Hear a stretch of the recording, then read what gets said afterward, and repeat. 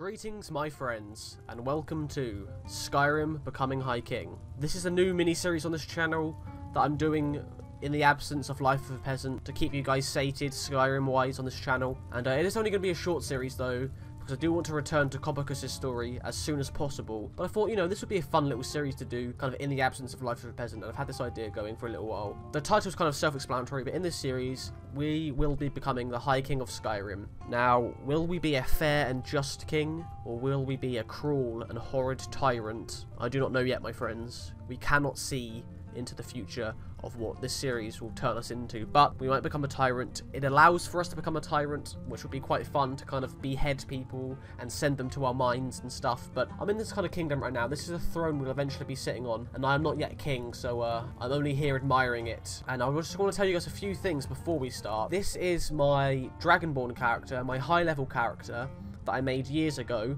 I've chosen this character because this is really the only character I can do this series on. The only other characters I have are, Uh, are Cobbicus and other characters like Cobbicus who are not very high level, only good for hunting, not very good for, for damage or anything like that, and haven't done any of the storyline or any of the quests on. So if I wanted to start again with a new character for the series, so I have to do all the storyline and all that stuff, and we don't want to do that because, well, we just want to get into the, the High King stuff, and it'll take way too long to get to it. It'd be like episode 70 before we start doing High King stuff, so yeah, I mean, we're just going to jump right into this We have an already kind of decked out character, as you can see here. Got some nice armor.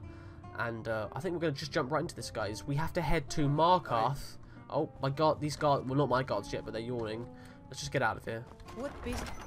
Okay, so uh, this mod's already glitched. Freaking great.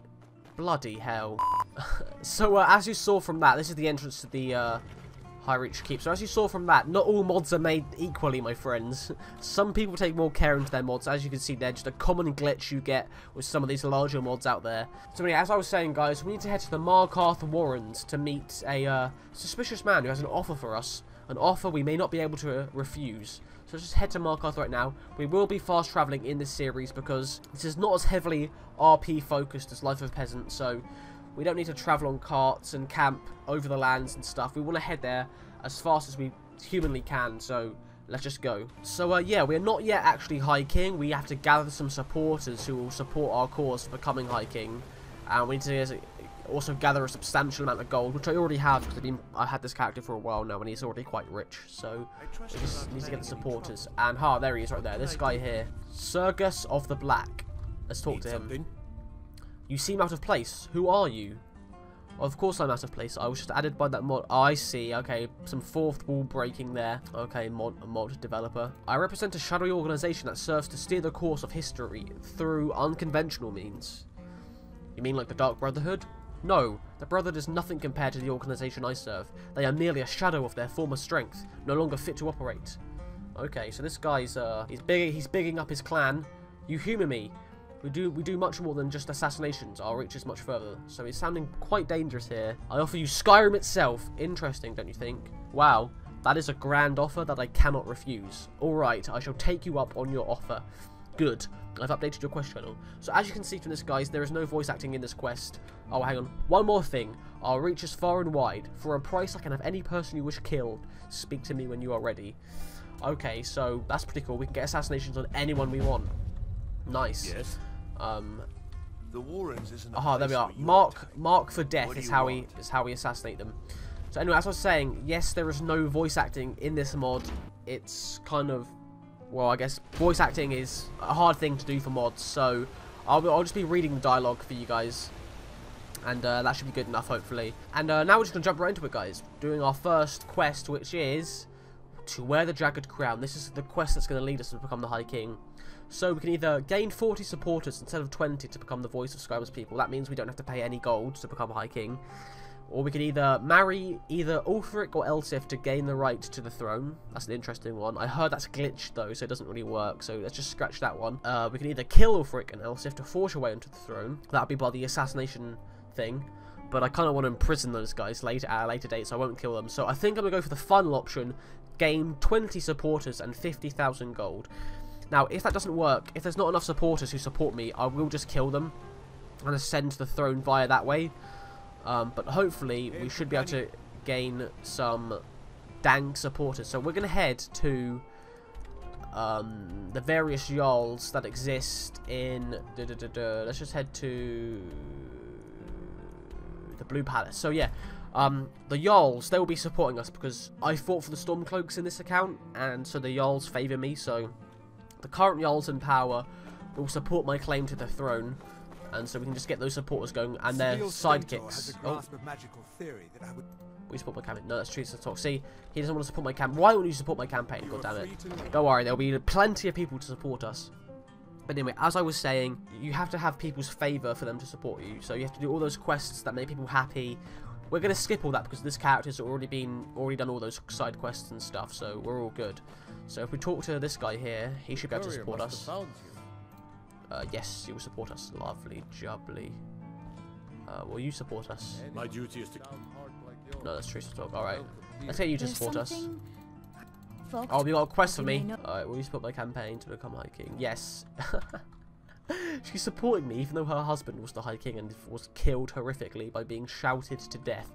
And uh, now I will become the High King. Now, I was hoping there'd be some more people in here who give me support, but that's fine. We can just we can just get those at a later date. There was a guy here who I did a quest for. I remember doing a quest for a guy here, who, um, and he would be able to support us. But whatever. Let's just well, that'll be enough. We only need 20. It should be fine. Alright, so we're just going to head to the next major town now and find the Jarls there.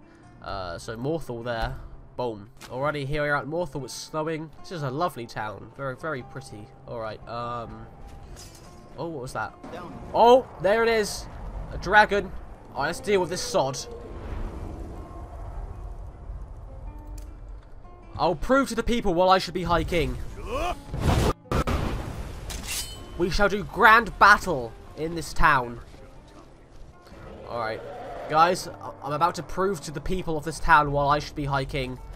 And they shall support me after I kill this damned beast. And absorb its power.